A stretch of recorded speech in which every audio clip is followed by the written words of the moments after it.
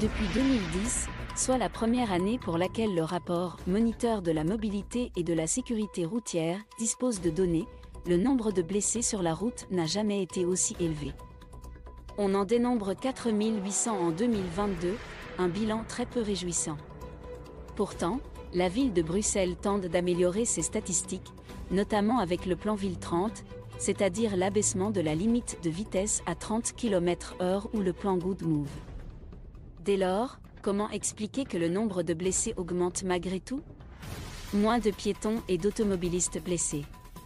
En analysant de plus près le graphique du moniteur, on constate que, bien que le nombre de blessés ait été plus élevé en 2022, il n'y a jamais eu aussi peu de blessés chez les piétons et les conducteurs de voitures.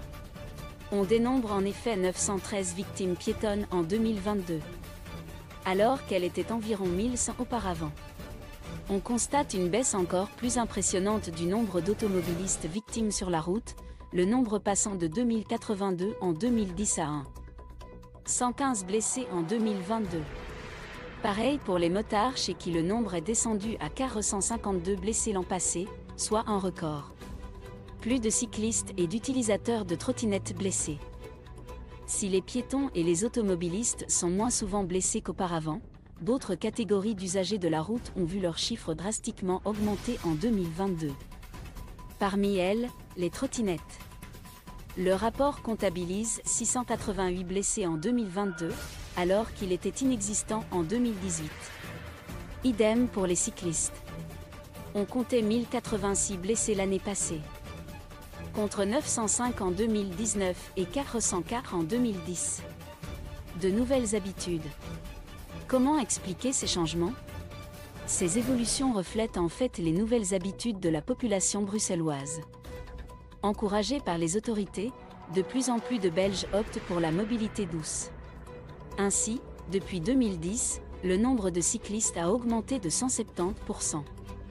L'introduction de la trottinette partagée dans la capitale a elle aussi entraîné une forte hausse de l'utilisation de ce moyen de transport et, avec elle, du nombre de blessés.